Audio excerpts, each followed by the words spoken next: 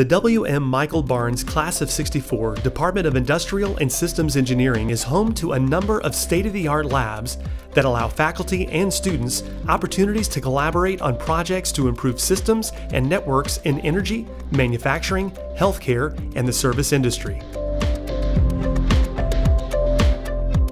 The Data Science and Operations Research Lab uses machine learning, network analysis, discrete and continuous optimization, game theory, and stochastic systems. Faculty and graduate students have the opportunity to be involved in fundamental theoretical research while exploring a wide range of exciting applications that span across a number of domains, while also digging deeper into topics spanning from healthcare applications to algorithm processes and optimization.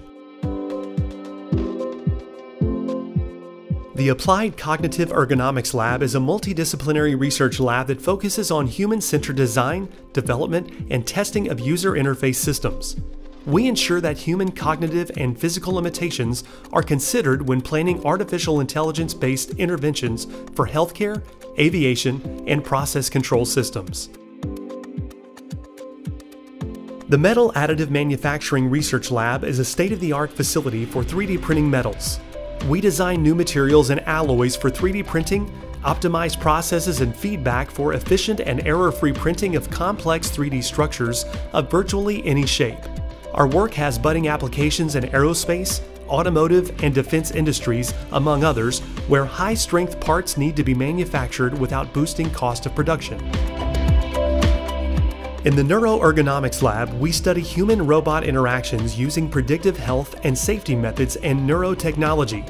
Our lab investigates the mind motor machine nexus to forecast human performance on emerging technologies for safety critical extreme environments such as emergency response, space exploration, and oil and gas.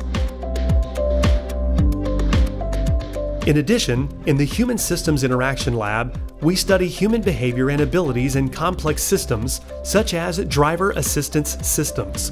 We also perform research on vehicle technology design, emergency response interactions with in vehicle technologies, and other related topics.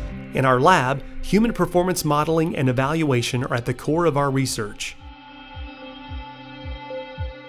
With the help of these labs, as well as many others in our department, we aspire to make an impact in academia and industry alike.